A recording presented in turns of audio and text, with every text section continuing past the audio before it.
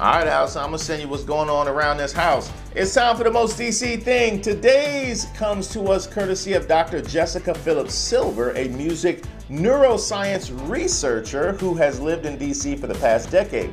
Now, her passion for exploring how rhythm spurs brain development in babies and children led her to create a go go themed stage play called Finding Rhythm A Journey Through the Musical Brain. The show is more about the effect of complex rhythms on the brain, but Dr. Phillips Silver knows what city she's in. She's quoted as saying, So here I am in DC wanting to write a show about the musical brain, and I need to represent polyrhythms so what music am I gonna choose?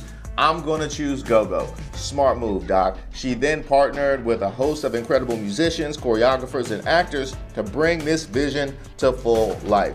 This is the most DC thing because it pays tribute to the official sound of the city on a scientific level. This play and the talented cast and crew who put it together break things down to the base elements and use Go Go as a vehicle for teaching. You gotta love it. For more information on how you can see Finding Rhythm, a journey through the musical brain, visit our website, WUSA9.com. And if you see a most DC thing, make sure you hit me up on social media. I'm at Reese Waters on Twitter, Facebook, and Instagram, or email rwaters at WUSA9.com. And don't forget to use that hashtag GetUpDC.